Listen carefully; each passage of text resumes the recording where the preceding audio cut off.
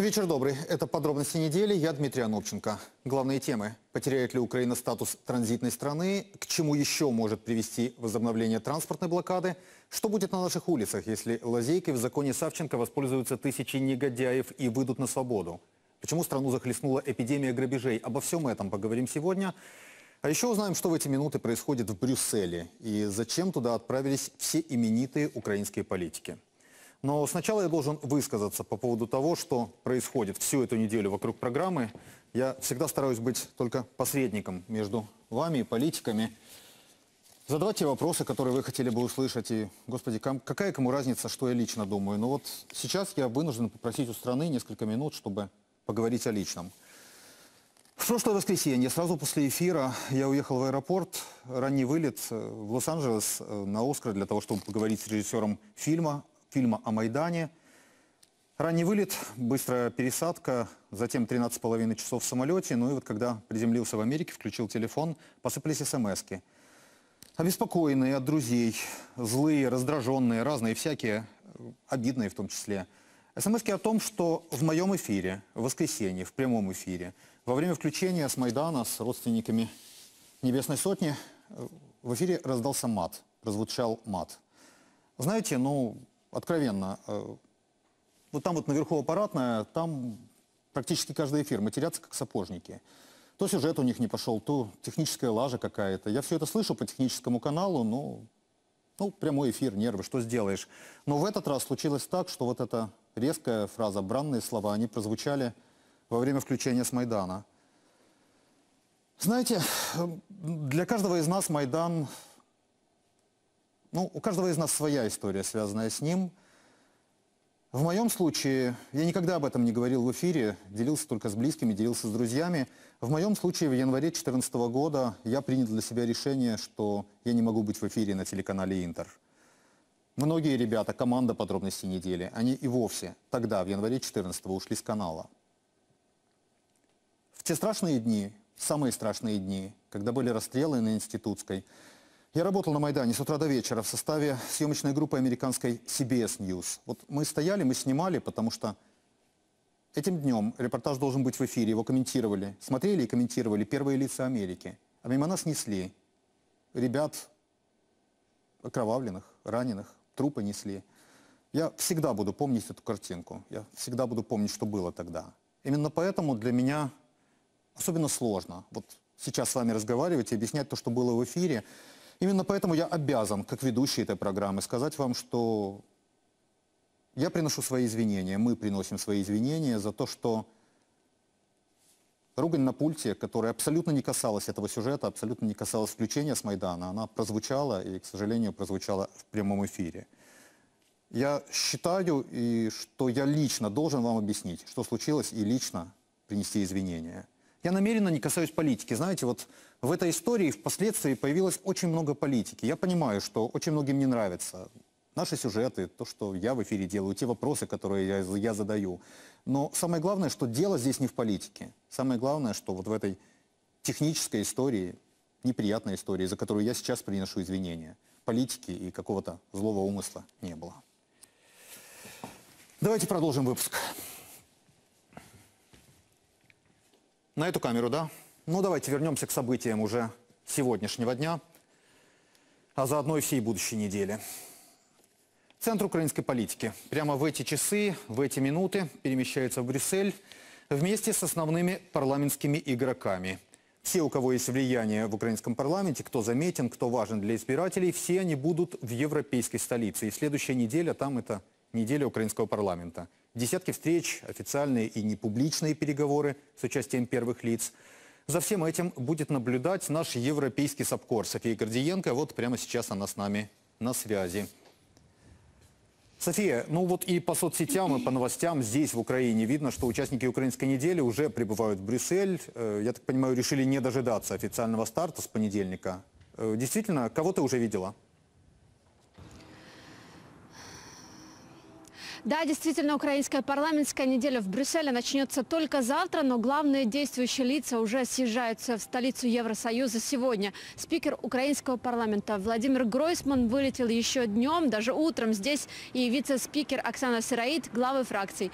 Сегодня ночью и завтра утром в Брюссель приедут и главы парламентских комитетов, самые известные активные депутаты и даже сотрудники парламентского аппарата тоже будут в Брюсселе. Похоже, это может стать одним из самых масштабных за последние месяцы мероприятий в столице Евросоюза, посвященных Украине. Студия. Э, Да, коллега, спасибо. Оставайтесь с нами на связи. А зрителям хочу сказать, что весь эфир мы сегодня будем следить за столицей Евросоюза, ну и попробуем первыми узнать, какие решения можно ожидать по итогам украинской парламентской недели в Европе, ну, в том числе и решения, которые будут касаться, наверняка будут касаться возможного безвизового режима для нас с вами. Но в самой Украине тем временем политическое затишье, назовем это так. После грома скандалов и пафоса обещаний политиков, мол, нужно срочно искать выход из политического кризиса, пока что не видно даже интриг особых. Правда, накануне на одном из сайтов появилось сообщение, якобы премьер Арсений Яценюк согласился добровольно уйти в отставку. И тут же последовали опровержения от его однопартийцев, ну, в том числе и самых влиятельных. Но даже по тональности этих опровержений, по скорости их распространения и потому что реакции самого Яценюка не было достаточно долго, можно понять, кое-что за кулисами украинской политики все-таки происходит. Кто принимает решение, чего ожидать от политиков в ближайшее время? Вот все это выясняла наш парламентский корреспондент Катя Лысенко. Потерялись, пропали, исчезли. Их нет ни в зале Верховной Рады, ни в комитетах, ни в теленовостях. Слуги народа, от лиц и заявлений которых раньше просто в глазах рябило. Сейчас они разлетелись, разошлись, разъехались. Никого в столице не застать. В парламентских кулуарах ветер гуляет. Громких заявлений не было и нет. Куда же делись депутаты? Ведь еще неделю назад клялись и божились. Впереди тяжелые дни напряженных переговоров. Как коалицию спасти, как правительство формировать и как мириться после стольких ссор. Но выбирая между мини-отдыхом и радовскими консультациями, почему-то выбрали каникулы. негайно зібрати всіх народних депутатів з усього світу і примусити всіх працювати. От наша позиція. Відпустити на три тижні в такій критичній кризовій ситуації Верховну Раду на канікули це є безвідповідально і це є недопустимо. Но сколько бы Батьковщина не призывала коллег собраться, внеочередного заседания так и не было. Нардепов не собрали. И из трех десятков комитетов за всю неделю лишь считанные заседали. Может, кто-то о чем-то и договаривался, но где и с кем, даже сами депутаты не знают. Все публичные переговоры закончились во время сессии. Сейчас в данный момент все идет кулуарно, никто ничего не видит, никто не знает. Условия, участники, это все закрыто полностью. Знову підкилимні е, переговори, е, торгування посадами і все решта це повна ганьба. Відбувається гра і маніпуляція. Тому в першу чергу нам треба з'ясувати кілька е, питань. Перше, чи є, чи немає коаліції, чи запущений е, механізм переформатування і створення нової е, коаліції. А друге питання, що робити е, далі з кабінетом міністрів, з яким не збирається е, більша частина парламенту, незважаючи на це ганебне голосування, співпрацювати. Я не відкрию великий секрет, коли скажу, що, на жаль, в парламентсько-президентській республіки центри прийняття рішень знаходяться не в парламенті. Тому е, ми не збиралися і якщо говорити про реальний стан речей, рішення приймаються поза межами парламенту. А пока в парламенте молчат, Кабмин, наполчав двоек за реформы, а точнее их отсутствие, чувствует себя более чем уверенно. И пока депутаты пропали с экранов, министры с удовольствием красовались в эфире. Це вже третє поспіль засідання Кабінету міністрів України в прямому ефірі. Расслабленные, спокойные, довольные. Отчитываются по точным и, словно еще вчера не звучало слово «отставка», строят планы на будущее. you. Повода волноваться у них действительно не было. Всю неделю об увольнениях ни слова. И только уикенд министрам испортил глава фракции БПП, заявив в Фейсбуке, правительство нужно менять. Мол, из-за нежелания премьера признавать развал коалиции Украина теряет. Кризис в отношениях с Западом усугубляется. А значит, уже на следующей неделе должны начаться переговоры и о новом правительстве, и о новом формате большинства. Де-факто, на наш погляд, коаліція не існує. Чому? Тому що Е, Ми не сприймаємо ефективність роботи уряду. Були відповідне голосування в Верховній Раді, яким було визнано робота уряду незадовільною. Вона запрацює тільки коли ефективно запрацює уряд. Або в чинному складі треба дійсно переформатувати чинний склад, змусити знайти людей, які зможуть працювати, а не займатися політикою. Я думаю, що Яценюк робить все можливе для того, щоб врятуватися і триматися своє крісло. Хоча, на моє глибоке переконання, уряд має бути перезавантажений повністю, в тому числі з прем'єр-міністром. Какая там перезагрузка? Удивились в пропремьерской фракции. Там так тщательно читали Конституцию, что решили, коалиция и вовсе не нужна. Если вчитываться в закон э, и в Конституцию прямо, то получается следующим образом. До тех пор, пока Кабинет министров не послан в отставку, то коалиция, в общем-то, как бы может даже и не, не быть. И только тогда, когда Кабинет министров уйдет в отставку, тогда нужно создать новую коалицию и э, избирать нового премьер-министра, формировать новый состав Кабинета министров. Вот э, такой интересный выводу я пришел, анализируя Конституцию. Но к этим интересным выводам пришли только в Народном фронте. Остальные фракции уверены, коалиция нужна. Новая и при условии, что правительство поменяется.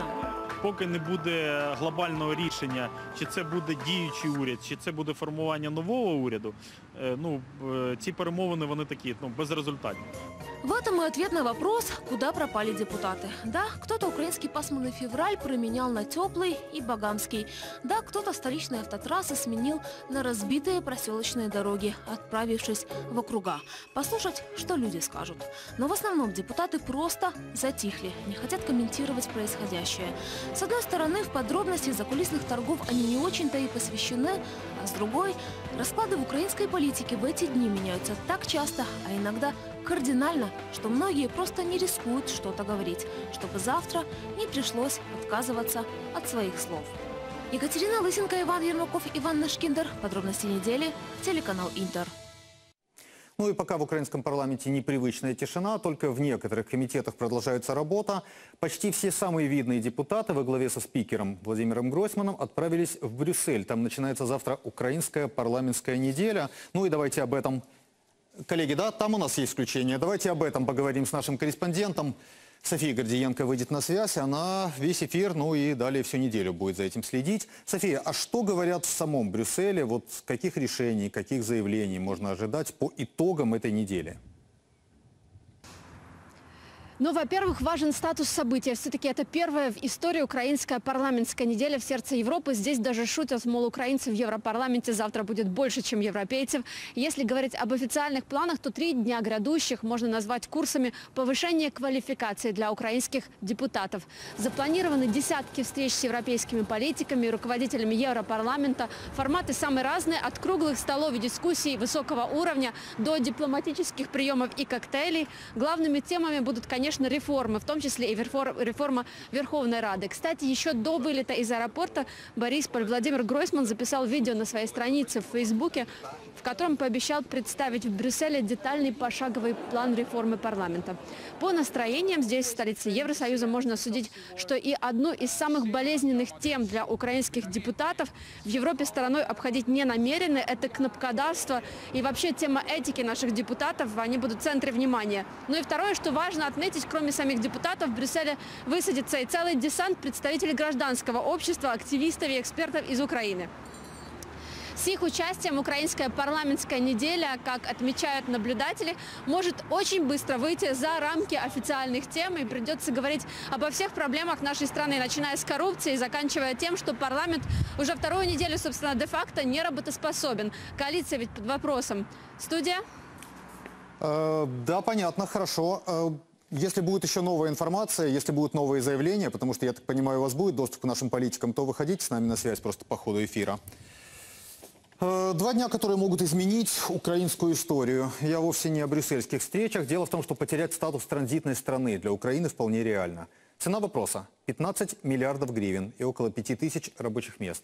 Первые громкие новости пришли накануне сразу в нескольких областях – Львовской, Ивано-Франковской, Ривненской, на Волыни, в Закарпатье. Под партийными флагами свободы были остановлены десятки фур. Ну вот сегодня появились новости о том, что к блокаде подключаются еще в Житомирской области.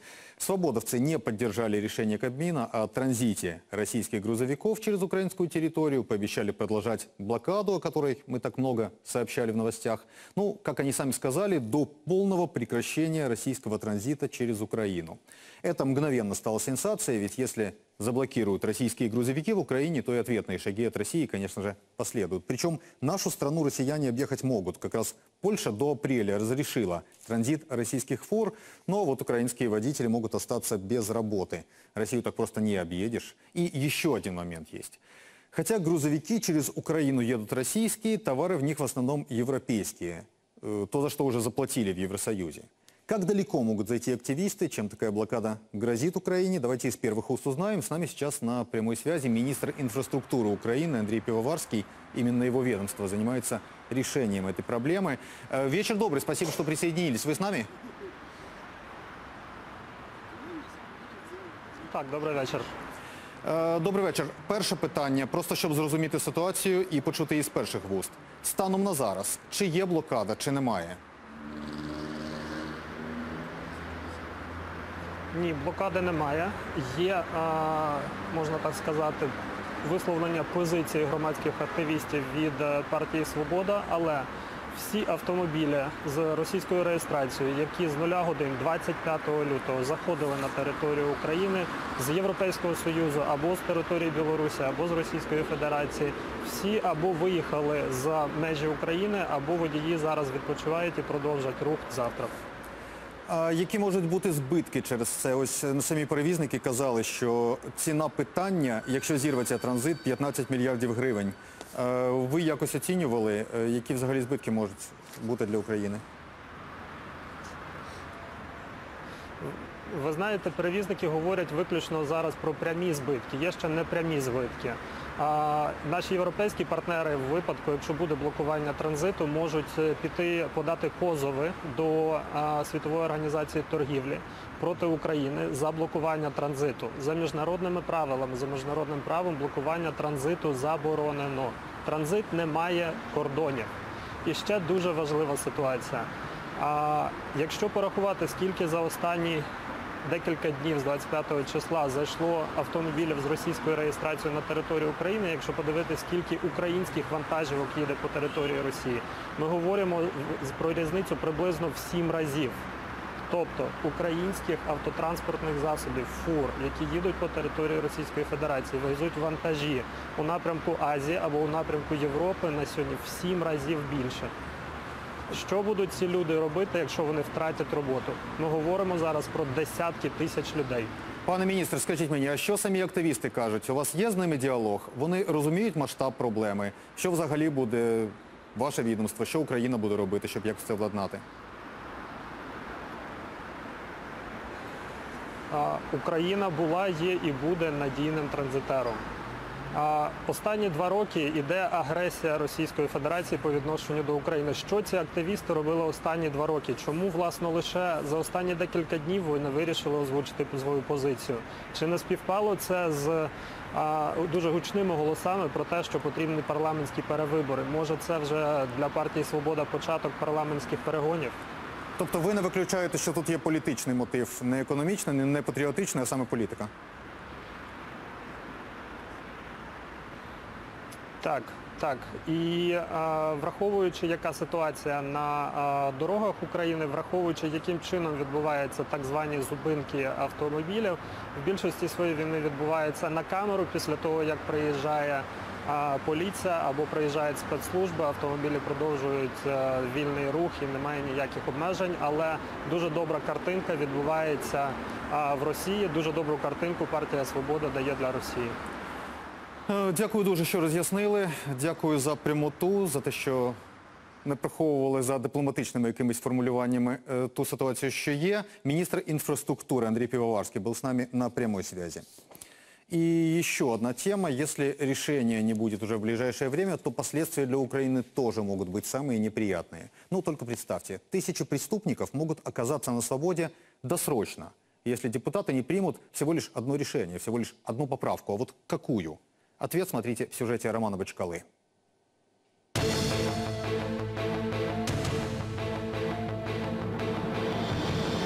Будет ли Надежда Савченко благодаря закону своего имени еще вопрос. А вот то, что благодаря этому документу десятки, если не сотни опасных преступников уже на свободе – факт. Мы в Белой Церкви, 35-я исправительная колония. Здесь отбывают наказание исключительно рецидивисты. С тех пор, как все эти двери стали чаще открываться, чем закрываться, почти каждый день звучит команда «на выход» с вещами. 600 человек, и каждый написал туда, это уже 600 материалов, и плюс некоторые даже по два раза То есть перестраховываются. многие пишут, да? Все, абсолютно, практически все. Осужденные обращаются в суды, чтобы те скостили им срок нахождения в неволе. Ведь теперь день в СИЗО считается за два в колонии. Этот закон позволит досрочно выйти на волю 15 тысячам заключенных, подсчитали в Харьковской правозащитной группе. Ее председатель Евгений Захаров в целом оценивает закон положительно. Довольно много заключенных по нашему опыту и по нашим наблюдениям получили или несправедливые, или неадекватно жестокие приговоры, не- э, которые не соответствуют тем преступлениям, которые они совершили. Но есть и риск. На свободе может оказаться целая армия опасных преступников. Это, в общем-то, определенный риск для общества, поскольку ну, эти люди могут опять совершить преступление. Это, как правило, рецидивисты чаще всего. Вот как раз к ним, рецидивистам, мы и идем. Вы сейчас все увидите сами, пообщаетесь, это ж не секрет никакой. Кто не хочет, просто отвернитесь к окну. Стандартное отделение на 25 человек.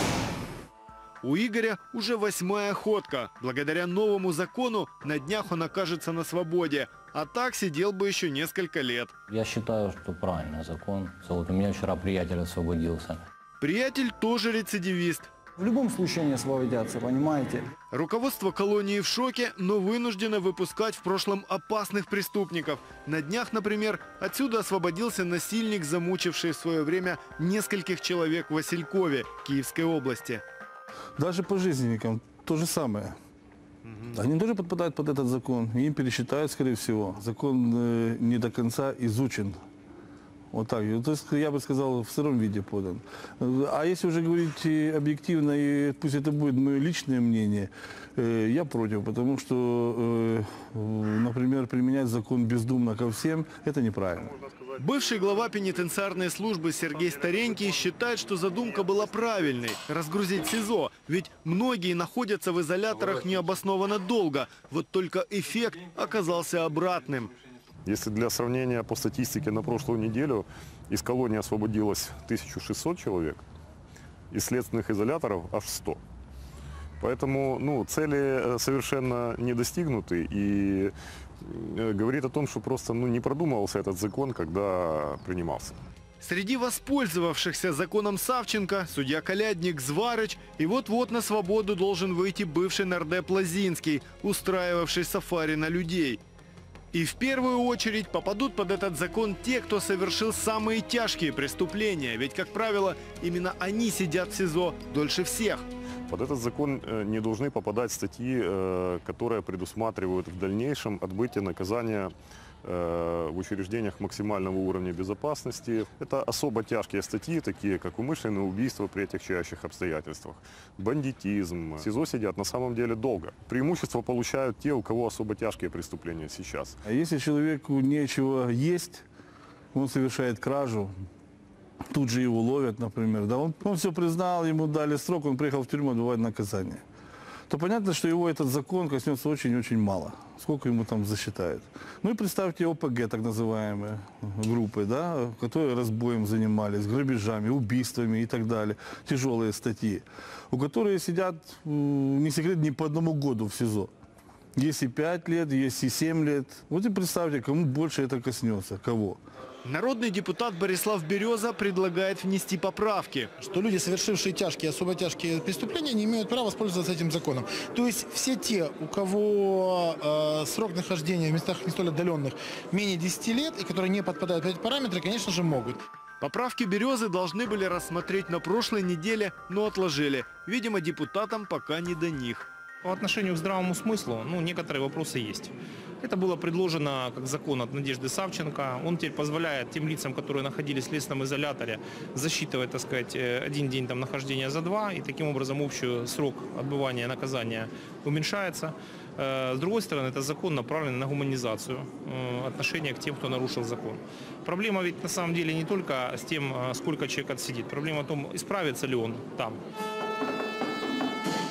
Она наоборот калечит и, и ломает. Там основная масса. Раз попал и все, и пошло, и поехало. Зато на зоне Надежда Савченко теперь главная любимица. Надежда, выходите к нам и помогайте нам, правильно? И даже если поправки будут приняты, то их действие распространится только на тех, кого осудят уже после вступления поправок в силу. Ведь, как известно, закон обратной силы не имеет. Роман Бачкала, Катерина Лысенко, Лидия Калинина, Владимир Дедов и Ирина Дьяченко. Подробности недели. Телеканал Интер. Ну и что самое удивительное, мы говорили с вами об этом в прошлой программе, поправку, которая могла бы исправить ситуацию, Рада могла принять. Могла принять еще несколько недель назад, но забыла. Ну, в кадровых спорах, видимо. А теперь длительный перерыв, тоже не до этого. А главное в этой проблеме – последствия. Вот если даже сейчас с нынешним количеством преступников на улицах рост числа грабежей и угонов в Украине похож буквально на криминальную эпидемию, то если на свободу и с чистой ли совестью выйдут десятки тысяч бандитов, жизнь станет куда опаснее. Руслан Смещук об этом.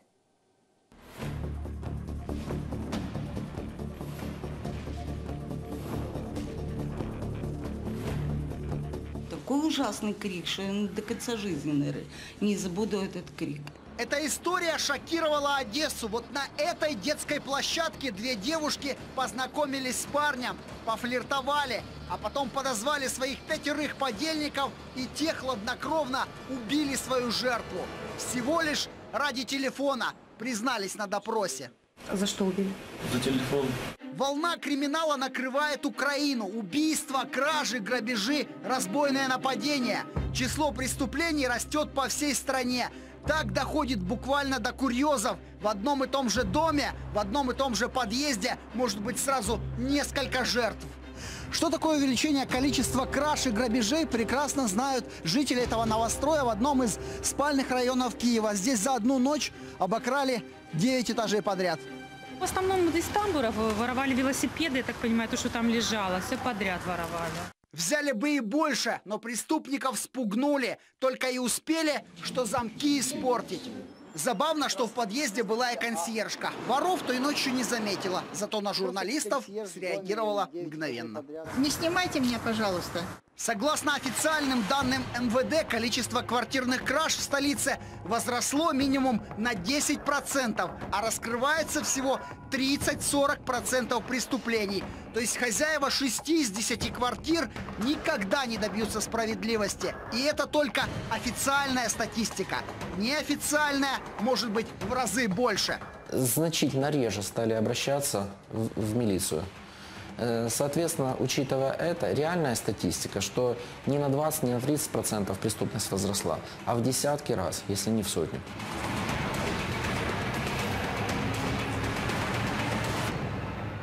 Такие случаи показывают общую ситуацию. Преступлений становится больше, злоумышленники смелеют.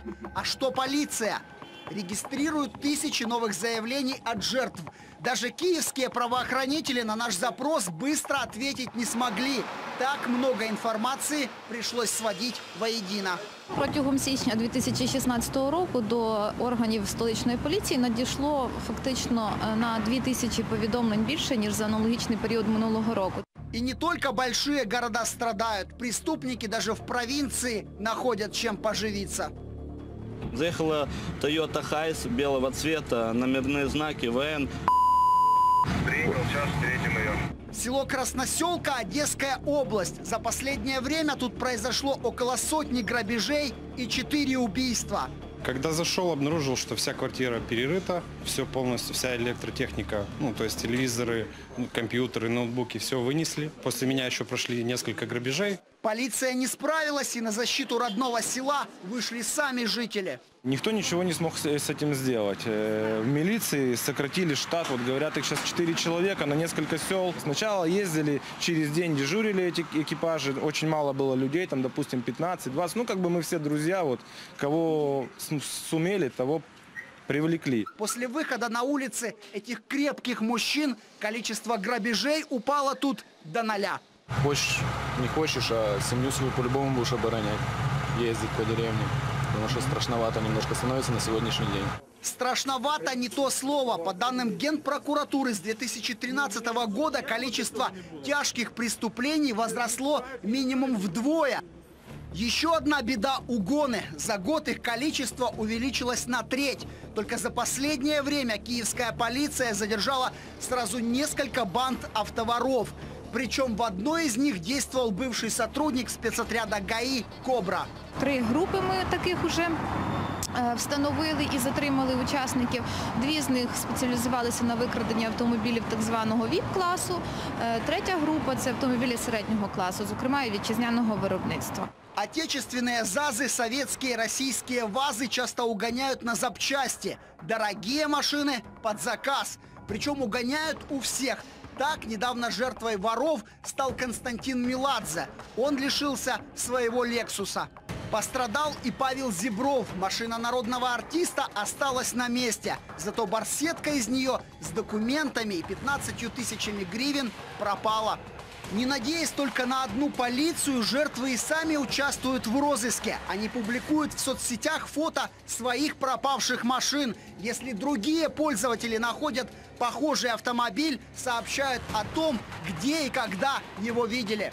Эксперты говорят, что это только начало, а правоохранительные органы за последние несколько лет лишились значительного количества профессионалов. Сама структура на протяжении более полутора лет целенаправленно э, вымывается. В значительной степени сегодня, опустошив э, оперативные подразделения, раз- уничтожив, по сути, огромную массу профессиональных разыскников, э, крайне ослабив э, следствие, э, по сути, э, сегодня э, Министерство внутренних дел превратилось в набор, где вот красивые лозунги висят, призывы. Пока единственный безоговорочный успех реформы МВД – создание патрульной полиции. Ей, согласно соцопросам, доверяет 52% украинцев. Прошлой милиции, например, верили всего 22% граждан. Но одна только патрульная полиция с ростом преступности не справляется. А значит, в ближайшие месяцы и, возможно, годы число преступлений будет только расти. Так что и 90-е могут показаться эпохой невинных шалостей. Руслан Смещук, Кирилл Ющишин, Александр Данилов и Богдан Иванов. Подробности недели. Телеканал «Интер». Ну и почему мы к этой теме обратились? Вы, возможно, видели в прессе. Киев признан самым опасным городом Европы. Анализ проводили более чем в четырех сотнях городов. Ну и давайте откровенно. Первая ассоциация, когда мы говорим сейчас силовики, ну, конечно же, новая патрульная полиция. Молодые ребята, в чем-то наивные, может быть, не до конца подготовленные, но новые люди, те, кто не будет в кустах прятаться в ожидании взяток или пьяных вылавливать, чтобы заработать себе на похмелку. Просто при этом реформа всей основной системы МВД, она выглядит вот как нечто рутинное, как не такое важное. А именно это фундамент правоохранительной системы. Ведь когда говорят о полиции, мы имеем в виду в первую очередь именно патрульных, но когда люди сталкиваются с криминалом, с угонами, вот, с тем, о том, что, что в сюжете было, и обращаются за помощью в ту самую полицию, то попадают уже к совсем другим полицейским. Ну, по сути, к привычным милиционерам, как бы их формально не называли. Э, Кирилл Куликов, руководитель Центрального бюро Интерпола в Украине с 2005 по 2007 к нам сейчас присоединяется в прямом эфире. С ним и поговорим, как с этим быть. Э, Вечер добрый, спасибо, что присоединились. Добрый вечер. Скажите, ну вот вы знаете эту систему изнутри, э, не только систему Интерпола, но и систему МВД в целом. А что происходит, что не так с реформами?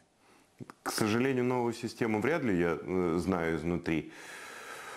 Мне кажется, что новая система это больше такая рекламная вывеска, потому что э, якобы измененная э, патрульная полиция это не э, системная реформа полиции в целом. Это раз.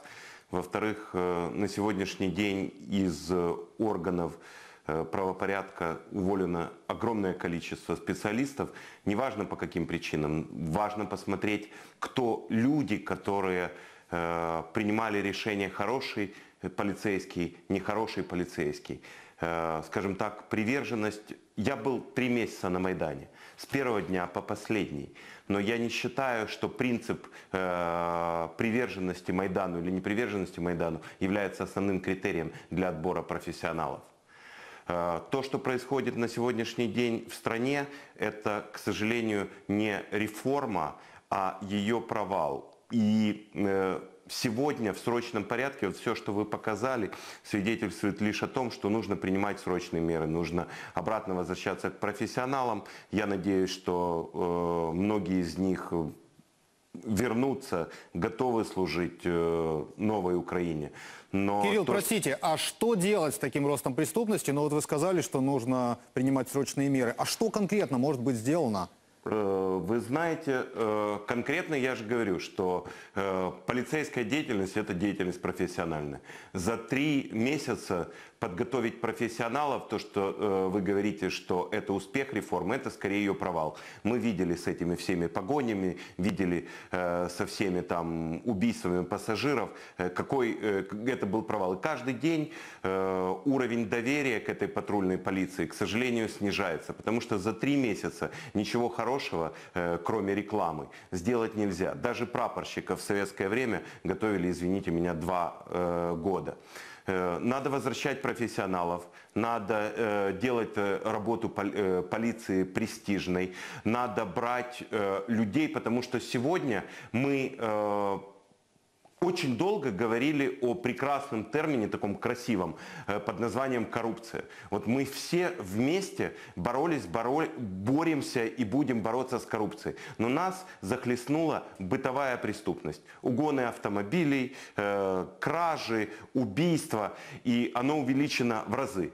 Просто люди, которые на сегодняшний день руководят этой полицией, ну, мне кажется, э, не э, заинтересованы в развитии Украины как государства. Они здесь временные.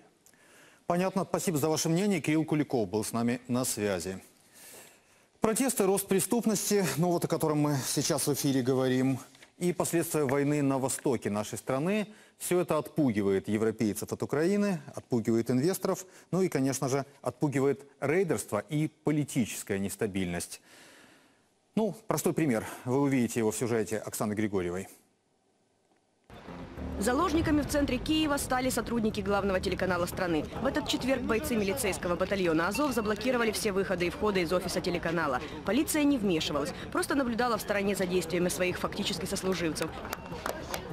В тот же день группа активистов, представившихся организацией «Вильни Люды», пыталась прорваться в здание редакции подробностей. На угрозы журналистам моментально отреагировали в ЕС. Представитель ОБСЕ по свободе медиа Дуня Миятович призвала украинские власти немедленно вмешаться и прекратить нападки на телеканал «Интер». Жесткую оценку блокаде телеканала дали и в парламентском комитете по свободе слова. Дії міліцейського полку біля телекомпанії це черговий подарунок ворогам України, які я переконаний будуть використовувати вони в інформаційній війні проти нашої країни. Це чистої води провокація, яка спрямована проти свободи слова, проти демократичних цінностей. Більше того, е, перешкоджання діяльності журналістів, а власне це сьогодні відбувалося під стінами Інтера, це ще є кримінальний злочин.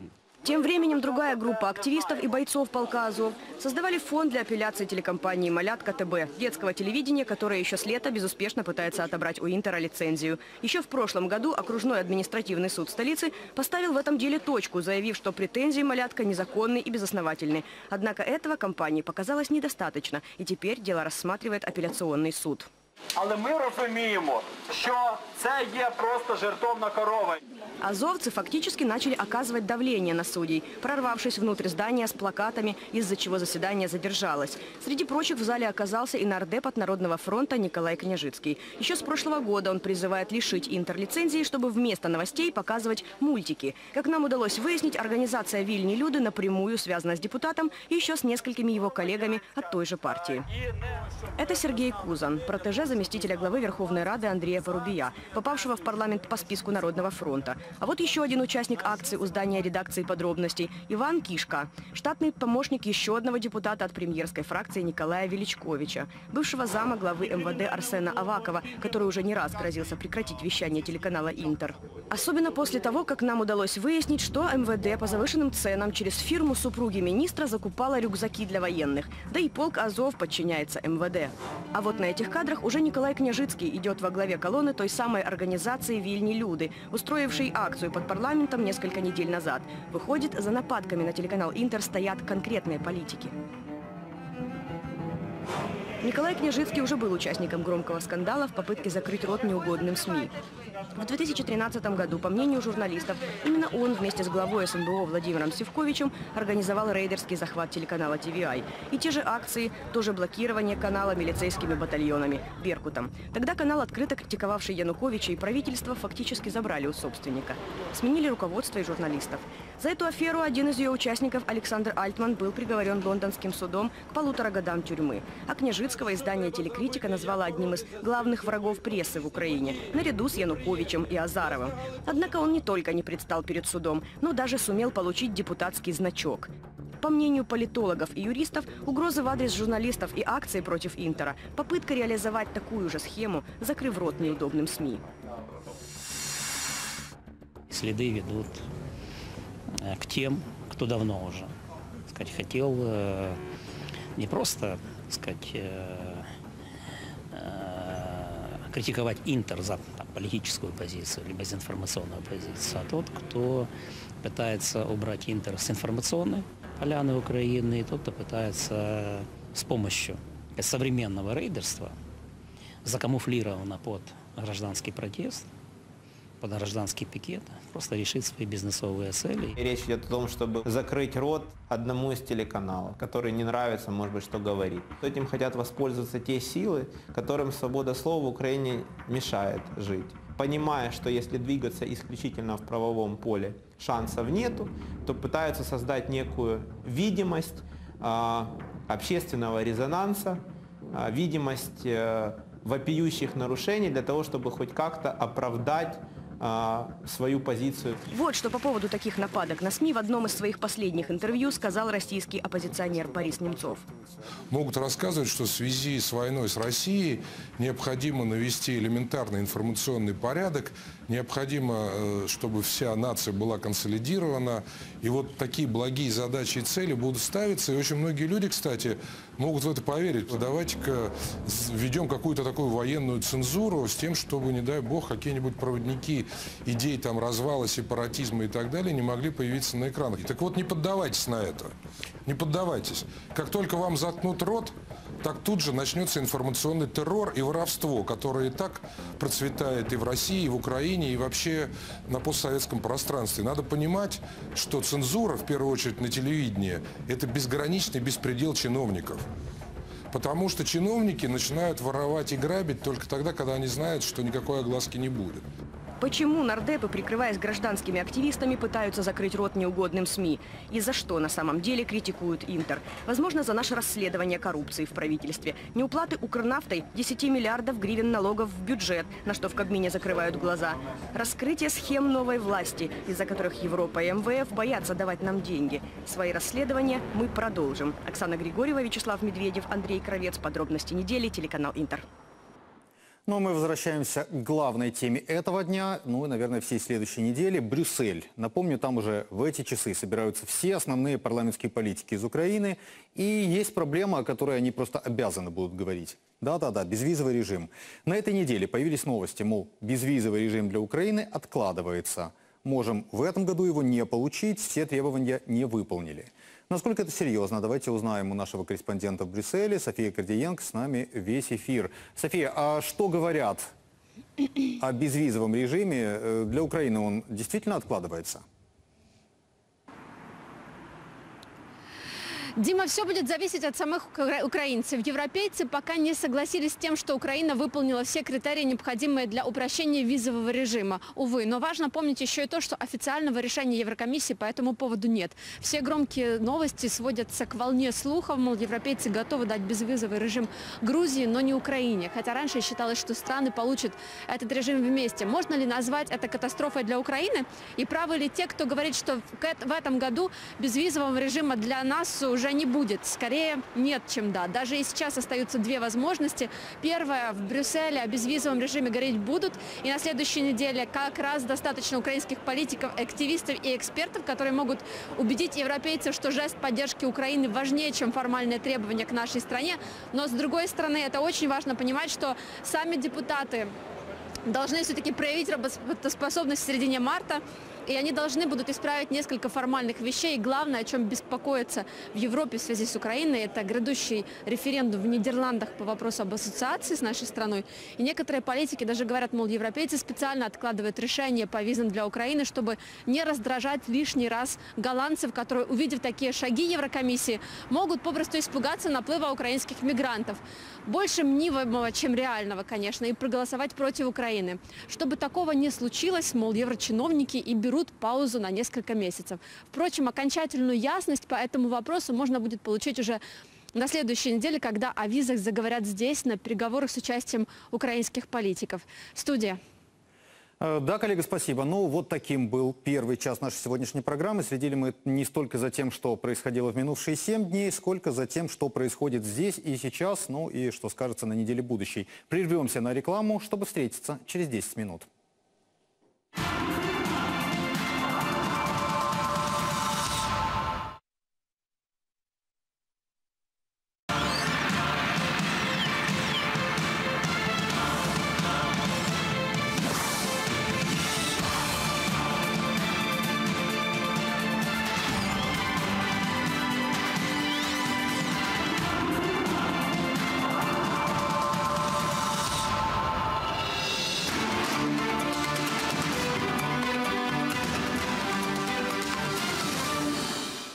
Вечер добрый. Подробности недели. Прямой эфир. Вторая часть программы. Я Дмитрий Анопченко. В этом часе мы обсудим одну из главных мировых новостей сегодняшнего дня. Перемирие в Сирии. Наконец-то в этой стране возможен мир.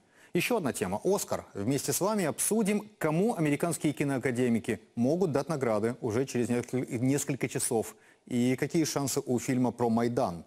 Ну, а начнем. Начнем с Украины. Прифронтовые районы. На уходящей неделе о них снова говорили, говорили часто и с обеспокоенностью. Количество обстрелов на этой неделе возросло до сотен в день. Сами бойцы заговорили даже о том, что могут возобновиться полномасштабные боевые действия. Насколько все это серьезно и как изнутри выглядит, все это видели наши фронтовые корреспонденты. Больше года в Широкино не было украинских солдат. И уже в освобожденном поселке они ведут себя очень осторожно. Растяжки, фугасы, не разорвавшиеся мины. Уходя, боевики оставили сотни убийственных сюрпризов. На эту мину сегодня сняли с растяжки. А, Взяли обычную артиллерийскую мину, вот сюда вот ставили обычный тротиловый заряд, установили ее на растяжку, ну 20 метров и трупы все. Возвращаться местным жителям уже некуда. Дворы, если не разрушены, то переделаны в укрепленные огневые точки. Военные их пока не обследуют. Брошенные позиции боевиков явно заминированы.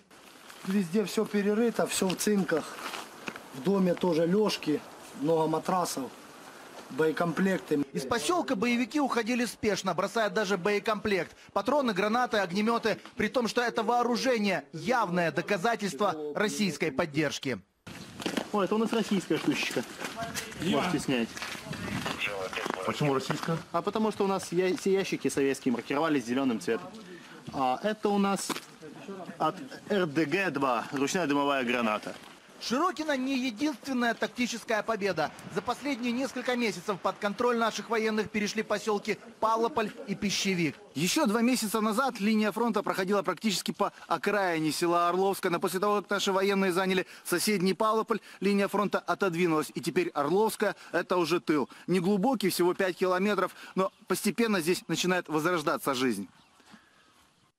За полтора года боев в селе осталось жить лишь треть жителей. Людям пришлось бежать от войны. Те, кому уезжать не было куда, были вынуждены приспосабливаться. Маленький Сережа до сих пор с ужасом вспоминает то время. Утром, днем и вечером у нас стреляли. И даже когда к нам бабушка приезжала, стреляли ночью. Я такой заснул. Там в час ночи уже начали стрелять. Я сразу в, в подвал под стеночкой по меня провел. Пока в Орловском не работают школа, аптека, фельдшерский пункт и детский сад. Но жители надеются, что скоро им удастся все запустить заново. Фронт отодвинулся, а значит и люди в село вернутся. Люди начинают потихоньку возвращаться. На весну планируется очень много людей, чтобы возвращаться. Возвращаться в село. будут много. Поселок Зайцево. Здесь, наверное, за эту неделю был самый ожесточенный бой. Противника пришлось буквально отбрасывать назад. Работали саушки конкретно из-за телекона. Вот там. А у нас окна саушки, дрожали. танчик. Бой длился почти сутки. Была попытка э, после артподготовки, попытка атаки, да, э, отбили В истерзанном войной Зайцево еще остаются мирные жители. Мы привыкли, потому что мы живем тут. Я вот работаю фельдшером. У меня в основном старики одни. Уехать я не могу бросить. Жалко мне их. По данным совместного центра по прекращению огня, за уходящую неделю по украинским позициям было выпущено более 600 мин. При том, что артиллерия должна быть полностью отведена от линии сопряжения. А вот прямые доказательства. Это 120 миллиметровые мины под Авдеевкой не разорвались, некачественные. Они просто застряли в асфальте. Огонь ведется двух мест, чтобы не успели укрыть Ведется, но оттуда вела 120 и из другого места по шахте 80 работала, понимаете? И получается, никто не успевает спать. Тяжелые бои велись в районе Авдеевки, шахты Бутовка, поселков Опытне і Пески. Є такі маленькі нюанси, що виходять дуже багато снайпера. А от, снайпера виходять і з великим калібром приїжджають дуже багато, видно, російських військових, які приїжджають потренуватися. Но жизнь возвращается понемногу и в этот ад. На некоторых улицах, многострадальных Песках провели свет. Это сделали военные в перерывах между боями. Да будет свет, сказал электрик. Здравствуйте. А сколько? Вот с начала войны, как началась война, так и все, с 14 года. Как долго Светлана пробудет со светом, неизвестно. В период эскалации боевых действий коммуникации недолго остаются целыми. Геннадий Вивденко, Станислав Кухарчук, Владлен Ноль, Вадим Ревун. Подробности недели. Телеканал Интер. Ну и уже через несколько дней все эти новости с Украинского фронта станут темой для переговоров в Париже. Снова нормандская четверка. В этом формате встретятся министры иностранных дел. О чем будут говорить? И главное, будет ли это просто дежурная встреча или все-таки случится что-то по-настоящему важное? Ответ на этот вопрос выясняла Татьяна Лугунова, наш корреспондент в Берлине, столице, пожалуй, главной страны нормандского формата. Э, Таня, вечер добрый. Можно ли ожидать каких-то конкретных решений? Я почему спрашиваю? В последнее время очень много критики нормандского формата. Говорят, что собираются раз в несколько месяцев, но вот нет конкретики, нет чего-то, чтобы переломило или хотя бы изменило ситуацию. Чего сейчас ждать? Далее вполне возможно, что главной новостью станет обновленный состав участников. Францию на переговорах представит новый министр иностранных дел Жан-Марк Эйро. Он почти два года был премьером Франции, очень близок к президенту Франсуа Оланду. Эксперты не исключают, что его участие в переговорах может повлиять на расстановку сил в нормандском квартете. Если раньше главную скрипку играла Германия, то сейчас вполне возможно усиление позиции Франции. Ну и, конечно, все-таки есть надежда, что встреча в Париже не закончится просто очередными декларациями. По крайней мере, министр иностранных дел Германии Франк Вальтер Штайнмайер еще в начале недели в Киеве сказал, что э, на переговорах в Париже могут быть сделаны, цитирую, решительные шаги. И главной темой станет безопасность. Но, конечно, в Европе не забыли о политической части Минских соглашений. В высоких европейских кабинетах говорят, что Германия и Франция постараются сделать акцент на выполнении политической части Минского пакета. И что в Европе уже не требуют от Киева внести изменения в Конституцию. Вместо этого настаивают на проведении выборов на оккупированных территориях. Э, Ну и вполне возможно, что в Париже э, прозвучит и тема аннексии Крыма, по крайней мере, о намерении поднять этот вопрос в рамках нормандского формата, говорил министр иностранных дел Украины Павел Климкин. Дима? Э, Таня, короткий вопрос. Что говорят по поводу продления, либо возможного не продления европейских санкций против России? Я вот почему спрашиваю. Э, Говорили о продлении на следующие шесть месяцев, но появилось заявление, очень много украинских журналистов на этой неделе его обсуждали, э, министр иностранных дел Литвы. Он говорит, что продление санкций в этом году может быть как никогда сложным. Вот такая цитата. Для дипломата эти слова уже достаточно много. В Берлине как настроены вот тамошние политики, что говорят? Дима, главное условие снятия санкций с России – выполнение Минских соглашений остается в силе. И да, европейские лидеры, например, Ангела Меркель, постоянно повторяют, Запад готов отменить санкции, но только если будут выполнены все пункты Минска. Но здесь важно помнить, что решение о продлении санкций должно быть общим. То есть э, сказать «да» санкциям на следующие полгода должна каждая страна Евросоюза. И здесь могут возникнуть сложности с так называемыми друзьями России в Европе. И многое будет зависеть от позиции таких стран, как Чехия или Италия. Там политики говорят, мол, санкции только мешают диалогу с Россией. Но все-таки решающий голос будет за Германией и Францией, которые, скажем так, умеют убеждать другие страны Евросоюза. И все же Берлин и Париж слишком много поставили на минские договоренности и просто так отказаться от идеи их выполнения и перечеркнуть все дипломатические усилия последних полутора лет немецкие и французские политики не готовы. Дима? Э, Да, коллега, спасибо. Татьяна Лагунова была с нами на связи из Берлина. Но все-таки давайте понимать, что до того, как о войне и мире будут говорить в Париже министры, предстоит дискуссия в Брюсселе, причем вот уже завтра. Напомню, весь эфир мы следим за главной темой этого дня. В столице Евросоюза готовится к украинской парламентской неделе. Там сейчас и спикер, и лидеры фракции украинского парламента. Ну вот среди них Юрий Бойко, он к нам сейчас присоединяется в прямом эфире. Юрий Анатольевич, вечер добрый. Вы с нами, слышите нас? Добрый вечер, слышу хорошо. Э, Скажите, ну вот на этой неделе, только что мы сюжет смотрели в прямом эфире, на Донбассе были сотни обстрелов, видно, чувствуется, сами бойцы говорят, что ситуация может ухудшиться, ухудшиться в любой день. Э, Наверняка вы тоже об этом будете говорить в Брюсселе. Вот у вас нет ощущения, что минский формат может не дать тех результатов, на которые рассчитывают?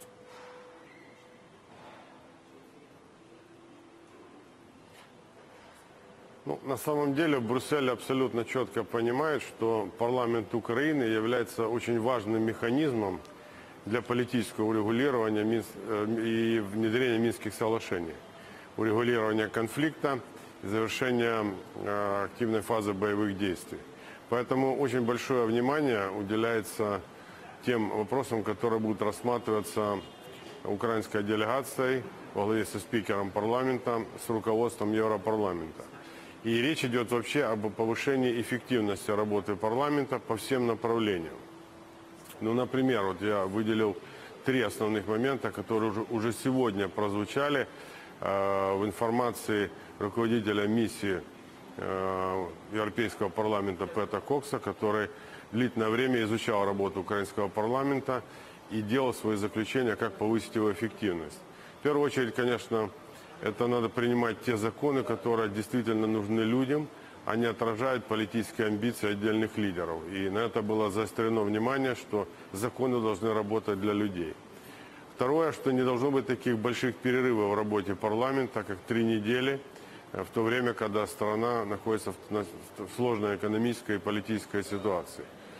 И третий вопрос – это повышение роли оппозиции как контроля за властью, как э, органа, который не дает злоупотреблять власти своим доверием людей. Юрий Анатольевич, вопросы рассматривались.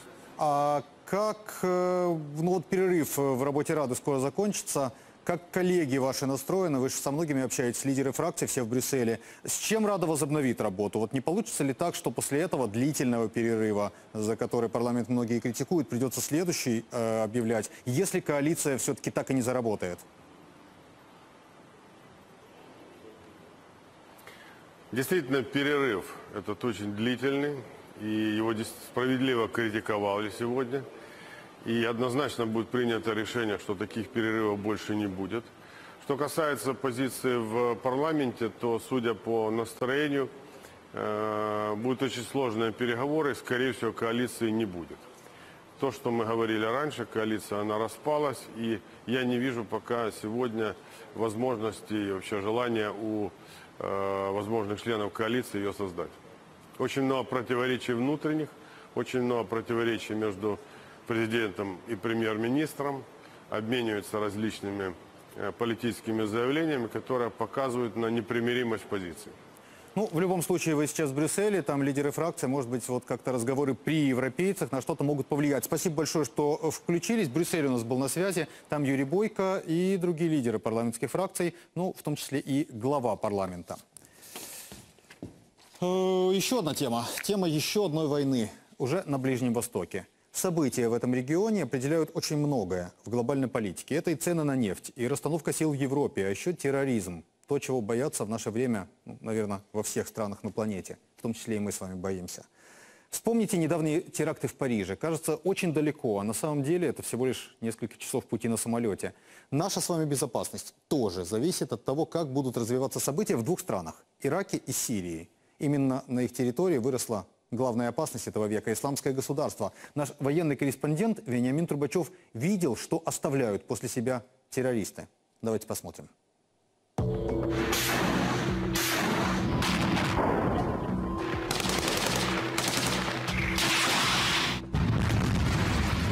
Вот эти дома – это уже окраина Масула. Город является главным командным центром исламского государства в Ираке. Боевики его захватили два года назад и до сих пор удерживают. В хорошую погоду даже видно черные флаги. Сегодня утром я заметил несколько автомобилей террористов. Выпустил по ним целую ленту патронов. У меня надежный пулемет, не подводит. Видишь, впереди нас небольшой холм. Вот туда террористы подходят и начинают стрелять. Они не сидят на одном месте, а постоянно перемещаются. Масул для боевиков – город-символ. В главной городской мечети лидер террористов Аль-Багдади провозгласил создание исламского государства. Это было его первое публичное выступление. Только по самым минимальным подсчетам в Масуле более 4 тысяч хорошо обученных боевиков. И покидать город они явно не собираются. У них современное оружие и техника.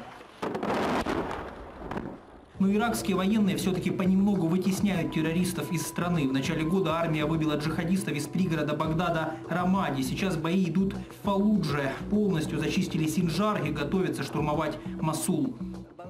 В Масуле живет больше двух миллионов человек. Для нас это проблема. Террористы прикрываются людьми, а мы не можем стрелять по мирным. Этот человек один из полевых командиров. От его решения зависит, когда и где начнется зачистка. Террористы несколько раз пытались его убить, но, кажется, покушения делают его только сильнее.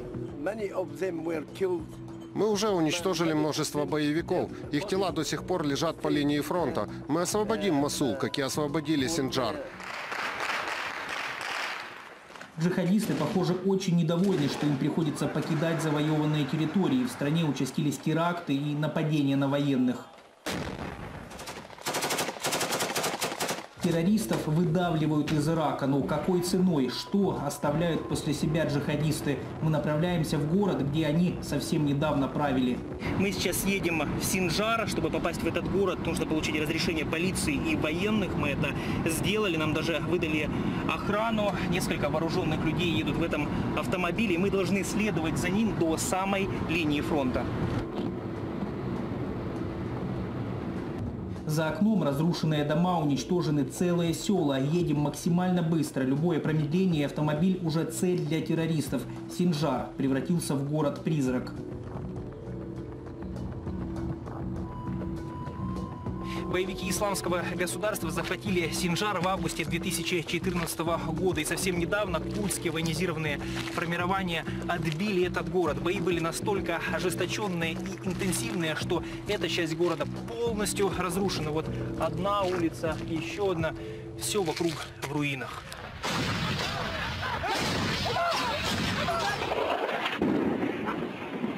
Ходить по этим улицам до сих пор нужно очень осторожно, только по проверенным тропинкам, потому что военные говорят, что террористы, когда покидали город, многие разрушенные здания заминировали, установили противопехотные мины, и взрывы звучат здесь до сих пор. Джихадисты не оставляют попыток вернуться. Они занимают несколько поселков вблизи Синджара. Обычно они отправляют к нашим позициям смертников.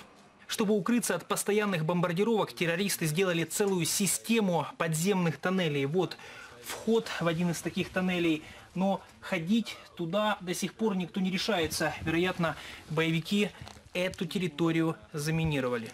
В этом доме жила семья с маленькими детьми. Снаряд попал прямо в детскую комнату, рассказывают очевидцы. И взрыв был настолько мощный, что игрушки разлетелись на сотни метров.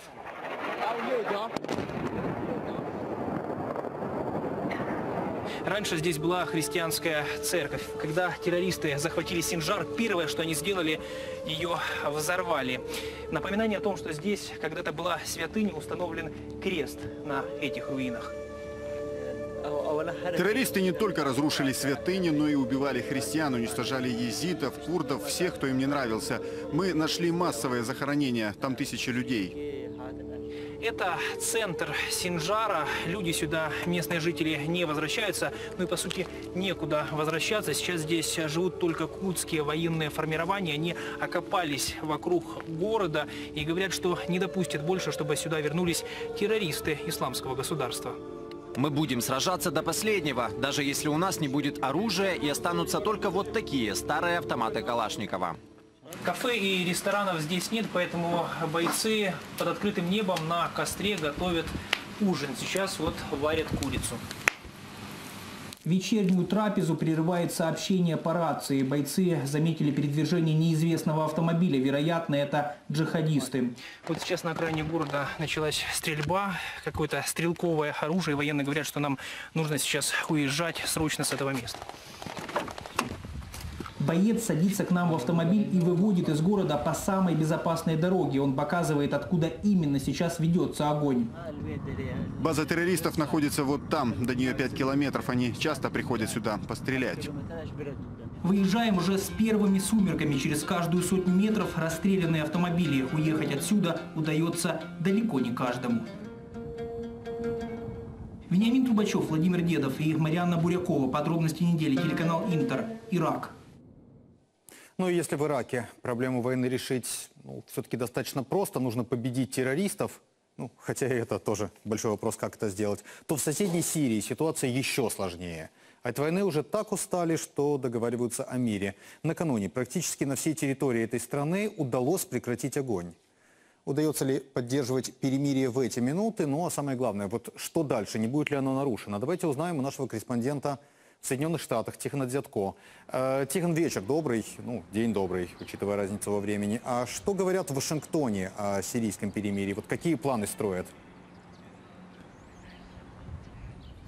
Дмитрий, ну, одна из главных эмоций здесь, в Вашингтоне, конечно же, оптимизм. Многие месяцы переговоров по Сирии наконец-то привели хотя бы к шансу на мир в этой стране. Все-таки прошло пять лет войны, Сирия почти полностью разрушена, 200 с половиной тысяч человек убиты, миллионы стали беженцами. И вот теперь и армия президента Башара Асада, и его союзники из шиитских группировок и почти сотни группировок, которые им противостоят, согласились на прекращение огня. Но вместе с оптимизмом здесь, в Соединенных Штатах, чувствуется, я бы сказал, настороженность поскольку никто не понимает, насколько долговечным окажется это перемирие.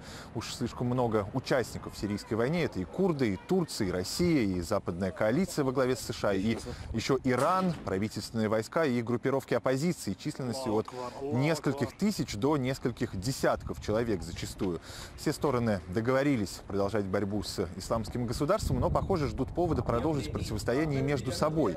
Накануне представитель Госдепартамента США Марк Тонер сказал, что Кремль заверил заверил Белый дом, мол, не будет наносить удары по оппозиции, но в Вашингтоне, кажется, это оценивают как очередную проверку. Дескать, вот теперь-то точно станут ясны стремления России в Сирии.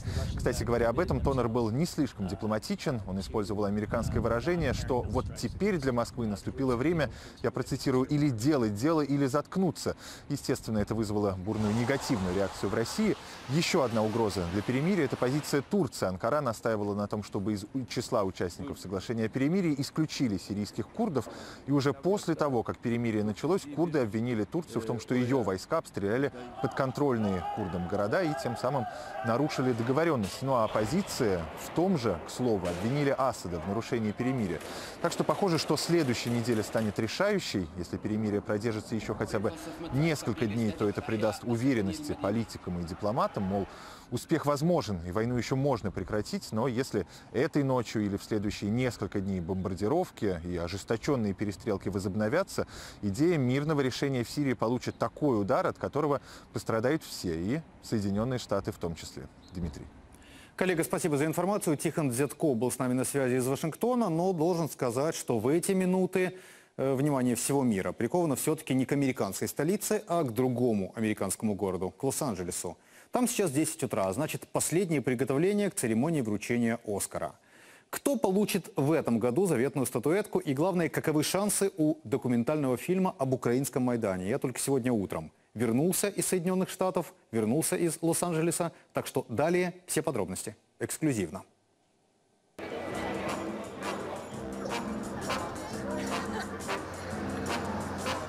Церемония уже сегодня. Это значит и для организаторов, и для прессы приходит время дедлайна.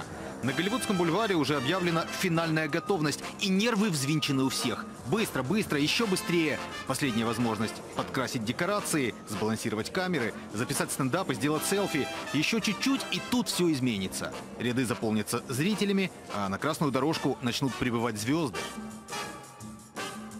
Главная премия в мире кино в этом году изменилась внешне. Сам «Оскар» теперь выглядит по-другому. Вернулись к дизайну, придуманному в далеком 29-м. И внутренне. После скандала с отсутствием в списке номинантов темнокожих актеров киноакадемию теперь ждет коренная реформа. Среди тех, кто голосует, появятся новые люди. А значит, стать номинантом и даже получить «Оскара» все больше шансов не только у признанных метров и их заведомо выигрышных сюжетов, но и у совсем других историй. Не тех, к которым привык Голливуд, а таких, как наша, украинская. Оскаровская церемония всегда интересна сама по себе, но в этом году у нас был особенный повод приехать сюда, в Лос-Анджелес, потому что здесь, на Голливудском бульваре, нам назначил встречу человек, за которого вся Украина в эти дни держит кулаки. Евгений Афиниевский, автор фильма «Зима в огне», фильма о Майдане.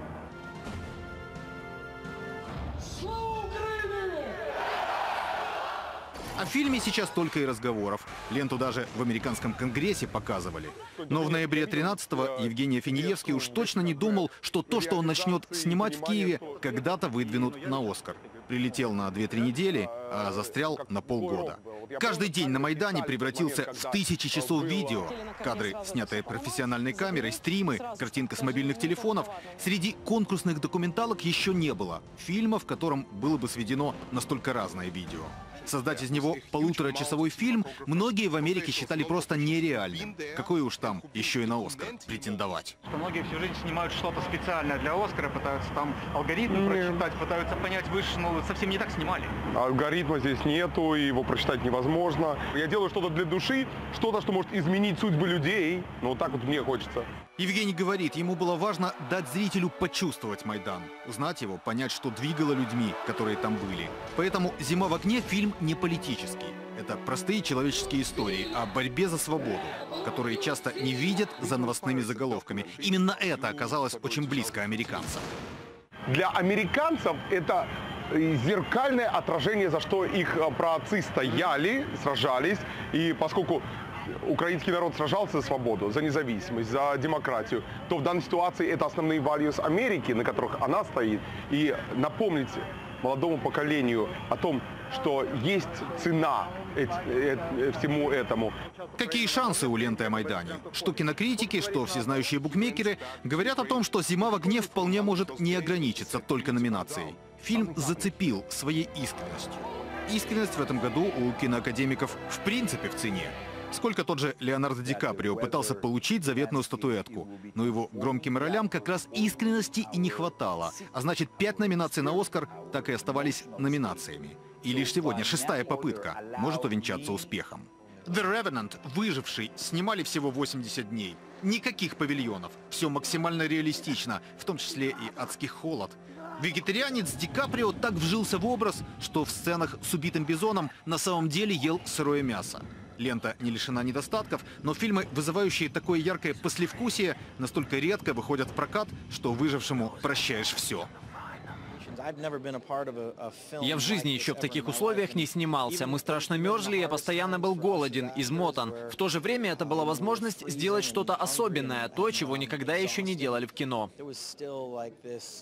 Так что этот фильм вполне способен снять с Ди Каприо оскаровское «Заклятие невезения». Мол, лента заслуживает статуэтку за каждую сцену, за каждую деталь, за каждый кадр. И уж тем более за лучшую мужскую роль. По крайней мере, фанаты Лео так говорят. Они в этом уверены. Всю эту неделю они постоянно слонялись на Голливудском бульваре. Делали ставки, обсуждали, агитировали. Очень заметные, шумные, яркие, иногда даже слишком. Я вот собрала всех Оскаров, каких только нашла, и нашила их на мой жакет. И даже кусочек от занавеси Оскаровской церемонии на себя нашила. В этом году Лео как никогда близок к победе. И интрига развеется уже через считанные часы. Среди тех, кто может победить в этом году, и Бри Ларсон. Ей прочат Оскара как лучшей актрисе. Ее фильм «Комната» – тонкая чувственная драма. Простая, но одновременно очень глубокая. Хорошие шансы и у Сильвестра Сталлоне. Его первого Рокки тоже когда-то выдвигали на Оскар. Но в итоге дали лишь «Золотую малину» как худшему актеру 20 века. И сейчас тот самый, последний шанс реабилитироваться. Так что он наверняка в эти минуты репетирует благодарственную речь. А вот кому скажет спасибо Евгений Афиниевский? Если получит своего Оскара, он давно уже решил. Тем, кто помогал снимать этот фильм. И всем тем, кто там, на Майдане, делился с ним своими историями. Я планирую сказать спасибо и всем на моих операторов. И еще многих других людей, с кем я познакомился на Майдане. Я сейчас мечтаю уже на обратно съемочную площадку. Для меня эта неделя, она такая тяжелая, что я хочу на съемочной площадке, я хочу творить, я, я творец. Но с другой стороны, нельзя и убегать вот от этого момента, потому что этот момент дает возможность фильму быть более увиденным. От успеха фильма о Майдане зависит еще одно очень важное решение. В кулуарах церемонии мне рассказали, если сегодняшний день принесет ленте «Оскар», Голливуд решится на еще более масштабную экранизацию. На вычетке у продюсеров крупных студий сейчас сразу несколько сценариев, теперь уже художественного фильма о событиях в Украине. И если их утвердят, экранизацию дадут кому-то из очень именитых режиссеров. Возможно, даже сам Спилберг возьмется. Но для этого всемогущие кинобоссы, как и простые смертные, просто хотят услышать решение жюри. А его огласят менее чем через 8 часов. Из Лос-Анджелеса Дмитрий Анопченко. Подробности недели. Телеканал Интер. Ну вот такая ситуация сейчас в Лос-Анджелесе. Будем держать кулаки за украинский фильм. Тем более, что Евгений и его коллеги делают очень много в ситуации, когда, ну что греха таить, политики, в том числе и в Америке, разочаровываются в Украине. Эти фильмы еще раз напоминают о тех ценностях, которые едины которые объединяют и нас, и американцев, и европейцев. Это были подробности недели. Спасибо, что смотрели. До встречи в следующее воскресенье.